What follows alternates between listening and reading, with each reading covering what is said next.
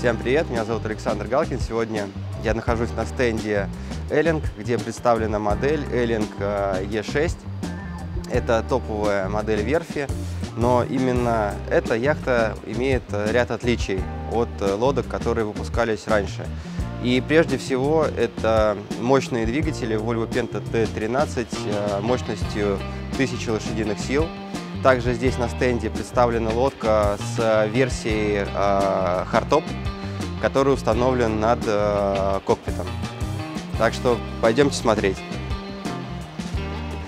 Пройдусь э, коротко по э, корпусу ниже ватерлинии, уже традиционно. Так же, как и на Е4, на который я делал обзор ранее. Мощнейший киль, который идет от самого носа до кормы. Этот киль прикрывает винт, дает стабильность, э, во-первых, на курсе, защиту винта, меньше снос при движении боковую волну. Ну и такая это, в общем, морская история, потому что традиционно все яхты, которые ходят в кругосветку и в дальние походы, имеют киль. Подруливающие устройства Здесь гидравлические, и носовое, и кормовое подруливающее устройство. Есть также функция Hold. Нажав несколько кнопок, можно яхту поджать к причалу, и капитан имеет возможность спокойно выйти, э, отдать концы, э, не опасаясь за то, что при отвальном ветре, например, там нос начнет уходить или корма. Также мощная скула на яхте, брызгоотбойник, то есть такая здесь ступенька, для того, чтобы когда лодка проходит волну или переходит из режима полуводоизмещения в водоизмещение, вода, которая поднимается по марштебну, не на палубу заливалась, а отводилась а, в сторону. В центральной части на миделе Эллинга Е6 а, традиционно есть ступени для подъема на палубу.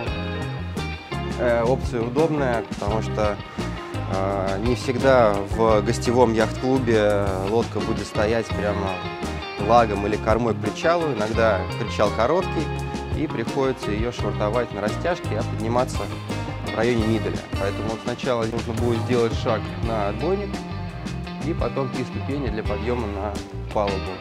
Верхний рейлинг он сдвижной, соответственно, сдвинули рейлинг, поднялись, закрыли рейлинг, все на борту. 65 футов, 20 а, метров. Это 20 метров действительно практически всего корпуса. Потому что иногда у яхт бывает, что они вроде 20 метров, но там купальная платформа занимает полтора, а и два метра. То здесь на Эйлинге она компактная, весь корпус заявленный, это именно корпус корабля. Под купальной платформой размещаются ступени для спуска в воду но также можно заказывать ступени, которые будут э, устанавливаться сверху на купальную платформу, иметь поручни. Они либо из э, алюминия, либо можно заказать из э, карбона. А на этой яхте купальная платформа целиковая, но также есть опция, когда средняя часть будет иметь функцию опускания подвод. Традиционно яхты Эллинг э, имеют один э, главный двигатель. Здесь он, напомню, Volvo Penta D13 мощностью 1000 лошадиных сил, который приводит в движение э, винт. Винт э, пятилопастной. Повторюсь, что винт э, прикрыт килем, то есть если будет совершена какая-то ошибка в навигации, и, например, э, лодка выскочит на отмель или на камни, то винт э, останется цел. Перо руля с гидравлическим приводом – это такая традиционная технология. Но по стандартам безопасности, ну и в принципе для подстраховки, на этой яхте есть дополнительный двигатель Volvo Penta D4 мощностью 75 лошадиных сил, который разгоняет э, лодку до 6,5 узлов для того, чтобы, если, например, что-то случается, случилось в море с основным двигателем, то капитан заводит вспомогательный двигатель и имеет возможность безопасно вернуться в порт. Вспомогательный двигатель имеет винт э, традиционный для парусных лодок. То есть он раскладывается таким образом. Собственное перо руля. А когда он не нужен в движении, когда работает основной двигатель, то вспомогательный находится в сложном положении и не мешает э, движению судна. Сейчас я поднялся на купальную платформу. В центральной части находится гараж для тендера. Сюда помещается Вильямс 385, который берет на борт комфортно 3-4 человека, а в режиме отряд боевых пловцов э, можно 6 человек взять на борт. Правой стороны по правому борту под ступенями находится так называемая генераторная котором расположен вспомогательный двигатель, там находится генератор, там находится система э, Вибаста, это кондиционеры, там же находится Кабола, это система отопления и э, горячей воды. Также в этой генераторной есть пульт дистанционного э, управления лебедкой. Лебедка находится в гараже и используется для спуска тендера на воду. Эта яхта оснащена системой стабилизации э, Seakeeper. И Seakeeper расположен под полом гаража на максимальном удалении от э, хозяйской каюты. Потому что, как известно, Seakeeper – это прекрасный стабилизатор, но у него есть ряд особенностей. Первая особенность – это то, что он э, выходит на режим в течение минут 40, то есть его нужно запускать заранее, перед выходом в море. И также, когда вы возвращаетесь э, и выключаете его, то он еще где-то в течение полутора-двух часов останавливается, ну и создает э, шум, который, в принципе, сопоставим с шумом от генератора. И для того, чтобы не беспокоить э, гостей и владельца яхты, Сикипер максимально э, сместили к корме. С левой стороны располагается еще один рундук, полноценная зона. Опционально здесь находится э, каюта для капитана, но зачастую э, все-таки она используется как склад, ну, как в данном случае. Также там располагаются блоки зарядки аккумуляторов и сами аккумуляторы. Э, аккумуляторы на этой лодке литий-ионные, системы Whisper Power. Судно снабжается э, и все потребители на 220 снабжаются через инвертор. Э, то есть э, эта система предполагает, что генераторы заряжают э, через зарядное устройство аккумуляторные батареи, и далее аккумуляторные батареи через инверторы питают все потребители на борту. Если сказать проще, то при выключенном генераторе можно абсолютно спокойно пользоваться всеми приборами на 220. Все будет работать без использования генератора. Хорошая опция для того, чтобы либо стоять на якоре в тишине, либо когда в яхт-клубе в общем-то, не приветствуется включение генератора, то вот система будет, что называется, к месту.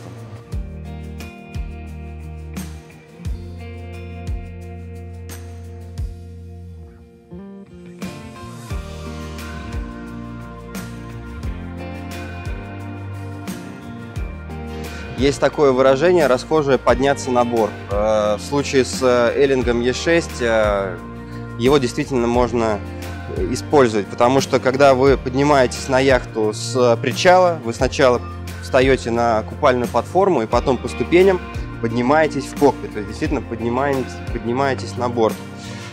Ступени имеют угол наклона, ну, примерно сопоставимый с традиционными ступенями для подъема на э, флайбридж. Можно подняться как по левому, так и по правому борту. Ну и также можно, если яхта стоит как-то неудобно, использовать э, ступени для подъема на борт на миделе. Сейчас мы находимся в кокпите. В кокпите яхты Elling E6. Это версия Highline, поэтому палуба из кокпита в салон в один уровень. Открытая планировка, которая позволяет размещать как удобно и как хочется мебель, как, которая находится в кокпите, так и мебель, которая находится в салоне. Э, установлен э, такой хардтоп над кокпитом. Если лодка используется в теплых морях, он защищает от солнца. на Балтике от дождя, потому что по периметру его можно зачехлять, тем самым увеличивая закрытую зону верхней палубы. Осенью дверь открывается, сюда можно дополнительно сделать и вывод э, вибасты. Это все пространство обогревается и вполне э, функционально. Также в кокпите выведены колонки э, системы музыкальные. Здесь музыкальная система Fusion. Она стыкуется с картплоттерами системы навигации Remarin. И, в принципе, все управление звуком происходит именно с поста. Соответственно, если тут шум, гам, гости гуляют, хочется капитану что-то услышать в радиостанцию, то не поднимаясь с поста, не отходя от штурвала, он может уменьшить а, громкость. Опционально на этой лодке стоят электрические лебедки для швартовки. Также здесь э, э, красивые цельнолитые полуклюзы вот здесь в кормовой части, они открыты сверху, поэтому швартовые очень легко э, закладывать и отдавать. Управление лебедкой с кнопки, ну это такая история традиционная. И под э, швартовой уткой находится рундук для э, хранения концов. Сечение рейлинга 800 миллиметров, массивный. Ну вот высоту вы видите, да, он как бы чуть, чуть ниже пояса, но э, безопасно. Красивая светящаяся э, такая накладка Эллинки 6 с названием модели. Эта часть как раз мы сейчас на мидле находимся, э, открывающийся рейлинг для того, чтобы воспользоваться ступенями для спуска на причал. Для того, чтобы попасть в эти ступени, когда вы спускаетесь, есть такая маленькая хитрость. Они расположены четко под сливным, спигат, э, под сливным шпигатом э, для воды э, с палубы. То есть вот прям на шпигат ориентируетесь и четко по нему спускаетесь. Боковые обходы широкие. В принципе, при желании можно даже разойтись э, вдвоем. Как у всех эллингов, э, на этой модели E6 центральная секция лобового стекла открывается. Для того, чтобы на, в круизном режиме 10 на 12 узлах можно такое устроить проветривание для салона. В носовой части э, есть большой рундук для хранения кранцев, либо велосипедов. Сейчас я его оп, открою. Как раз здесь сейчас располагаются кранцы, потому что здесь находится так называемая таранная переборка для того, чтобы предотвратить разрушение, так скажем, корпуса за ней. Это такой своего рода бампер, а это уже жесткий элемент, который лодку защищает от э, столкновения.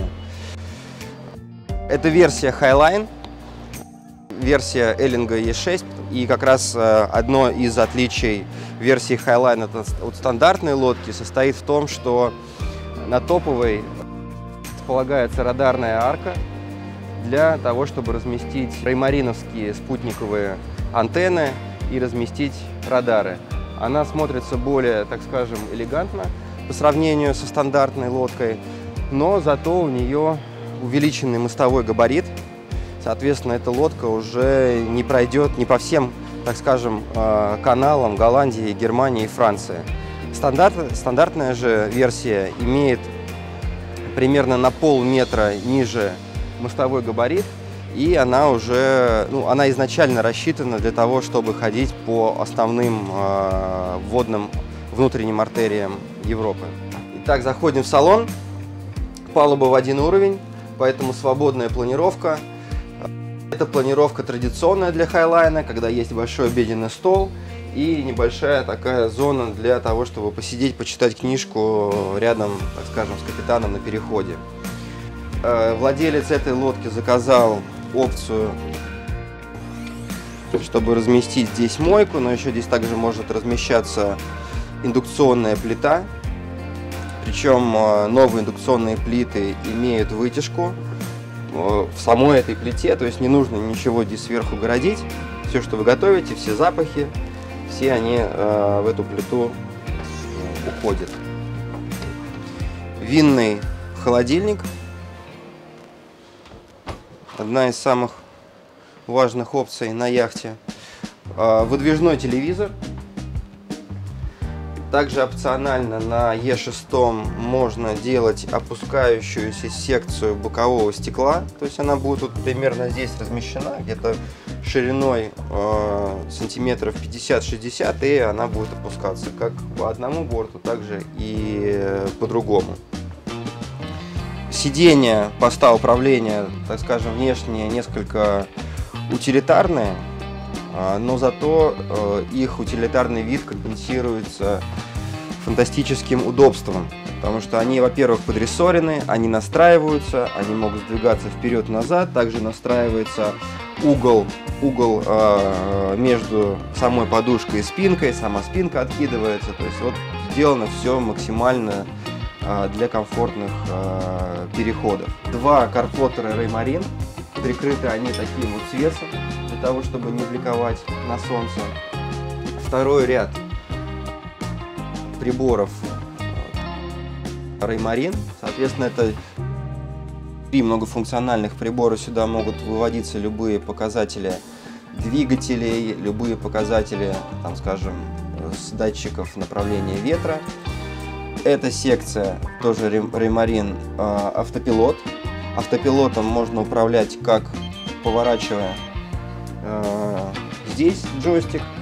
Также под правой рукой расположен э, пульт управления системой навигации и можно спокойно управлять также отсюда карту масштабировать. Под рукой находится ручка э, управления главным двигателем. Чуть ниже расположена ручка управления газ-реверс двигателя вспомогательного.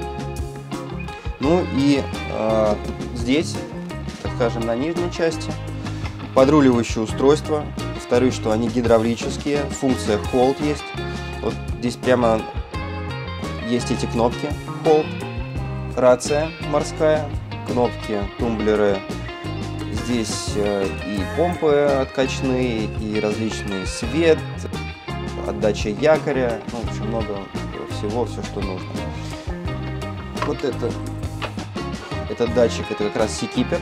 Здесь, э, значит, есть три танка на этой лодке. Расположены они ниже ватерлинии, в носовой э, и в кормовой части, также под гаражом. Соответственно, есть day-танк расходный, фронт-танк, танк в носовой части, но он расположен под нижним салоном, и танк, который расположен под Э, гаражом для э, тендера в той же части, где находится Seakeeper.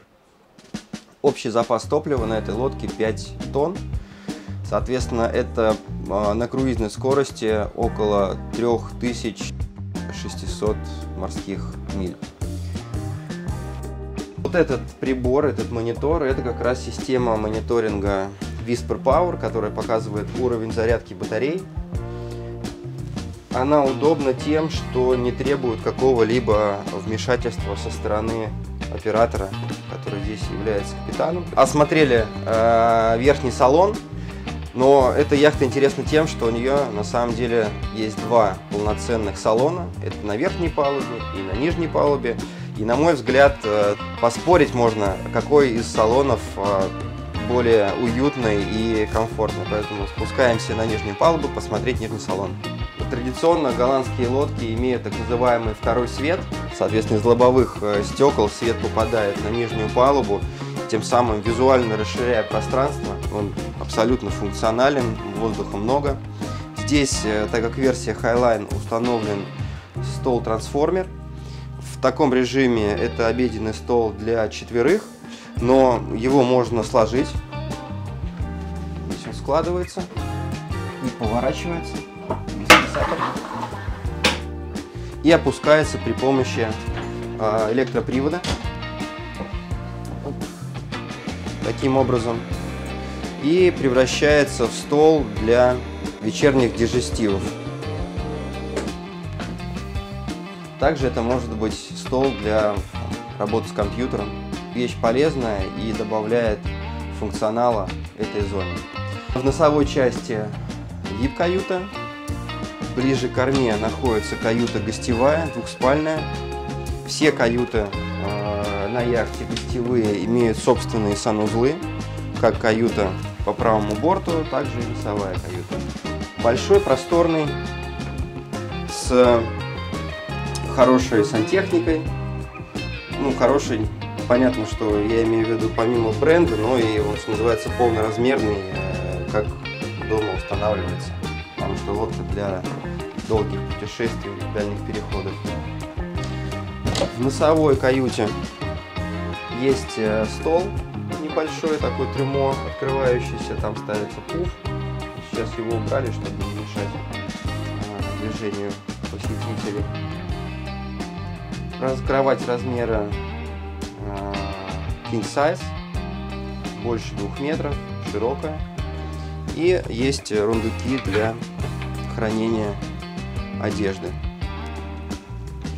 Зайдем в гостевую каюту и потом посмотрим уже э, камбус и каюту владельца.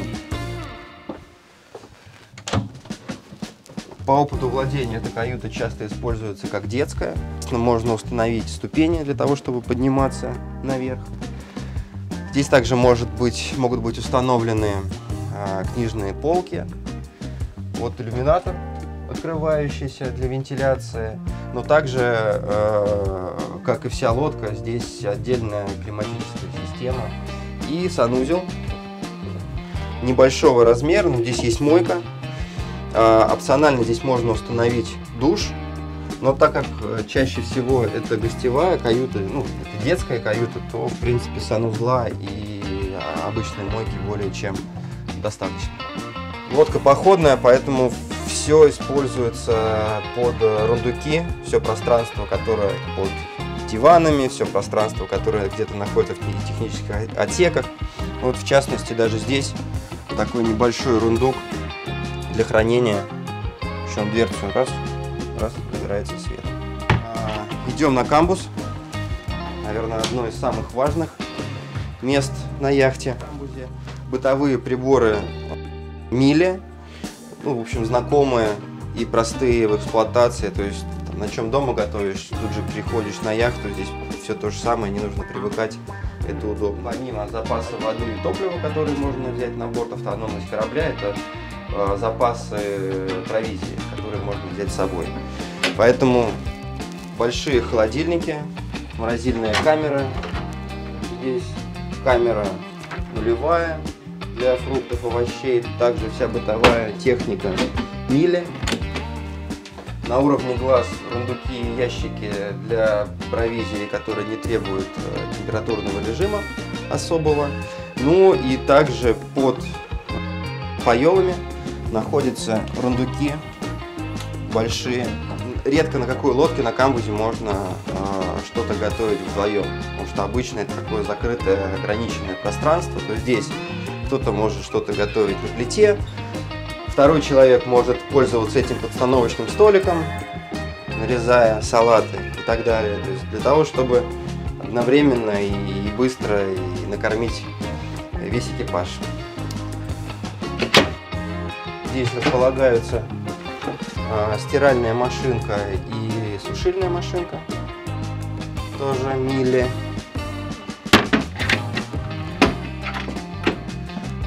Две панели. Они закрывают э, доступ в моторный отсек.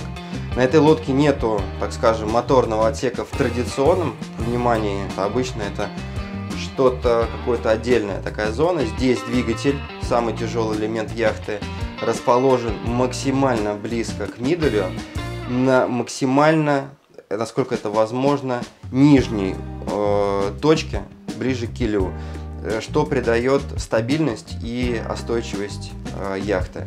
Кроме того, за счет того, что нету какого-то отдельного изолированного э, э, отсека для двигателя, то весь объем яхты максимально используется владельцем и гостями.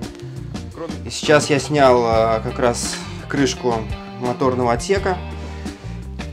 К вопросу шумоизоляции, вот все, весь блок моторного отсека, он а, таким образом реализован. Соответственно, здесь многослойная, многослойная изоляция, которая предполагает и вспененный материал, и алюминиевые листы, и притворы резиновые. Поэтому в движении на полной скорости здесь э, уровень шума не превышает 80 дБ, а в круизном режиме и того меньше.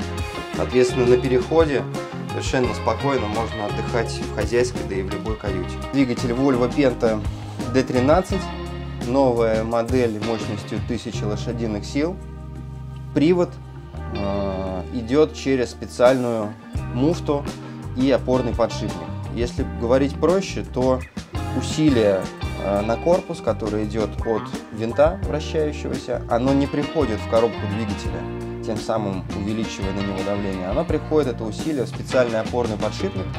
Опорный подшипник представляет из себя э, стальную такую закладную раму сам корпус, который формован. И, соответственно, вот это все усилие, она приходит в эту закладную раму, упирается в корпус, двигается, э, тем самым приводится в движение лодка, а двигатель работает и стоит на э, специальных амортизаторах, работает свободно и не испытывает никакого давления. В принципе, есть доступ ко всему, потому что снимается также вот эта панель, снимается панель со стороны э, каюты владельца, можно этот весь двигатель обойти с любой стороны, проверить фильтры, проверить уровень масла, дотянуться до всех элементов. И главное, то, что все это находится не в тесном моторном отсеке, а находится фактически внутри самой лодки с круговым доступом и с удобством для эксплуатации. Данная компоновка удобна и более безопасна с точки зрения проверки и обслуживания двигателя в море, потому что моторный отсек обычно это какое-то такое маленькое изолированное пространство, двигатели горячие, на волне запросто можно э, коснуться рукой, чем угодно и обжечься. То здесь вы находитесь фактически в большом пространстве, вы имеете доступ ко всем элементам. Это проще, удобнее и безопаснее. Ну и добавляет значительно объем на борту. Заходим в каюту владельца. Здесь гигантского размера расположена кровать. Также столик для работы, обилие рундуков, ящиков, большой телевизор на стене напротив кровати, рундуки для хранения одежды с подсветкой, и санузел. Так как версия Highline, то здесь э, красное дерево в отделке. То есть такие красивые элементы из массива, в, которые окантовывают э, столешницу. И санузел, ну, санузел душевая, полный, в полный рост, в полный объем. Здесь сейчас обычный душ, но опционально тоже можно ставить такой квадратный душ в потолке, чтобы использовать один, и второй. Так скажем, завершая осмотр и обзор яхты LMT 6, остановлюсь на системе отопления этой лодки, потому что, как ни странно, но качественно и правильно нагреть лодку – это непростая задача. Здесь установлена система Кабола, это э, дизельный котел, который мы уже видели, и система радиаторных батарей, которые размещаются за элементами мебели. Соответственно, есть специальные э, каналы воздушные, через которые поднимается теплый воздух. То есть это такое получается, в отличие от кондиционера, который греет только воздух и греет потом уже мебель, то здесь в обратную сторону греется мебель, греется полы и греется уже э, сам воздух. Для управления этой системой используются вот такие датчики, на которых можно установить и задать температуру. А система это не требует работы генератора, не, не требует 220, соответственно, она полностью автономная и даже зимой, оставив лодку на воде, например, где-нибудь в Голландии, в Германии, вы можете задать температуру 16-17 градусов, и по мере необходимости котел будет включаться и подогревать лодку. Ну что, на этом все. конечно, есть еще о чем рассказать, э, деталях, а самое главное, испытать лодку в море. Я это обязательно сделаю в ближайшее время и запишу на этот счет э, отдельный обзор. Ну а на сегодня это все. Спасибо, что смотрели. Спасибо, что вы посетили борт прекрасной яхты Эллинг Е6 версии Highline. И до новых встреч. Пока-пока.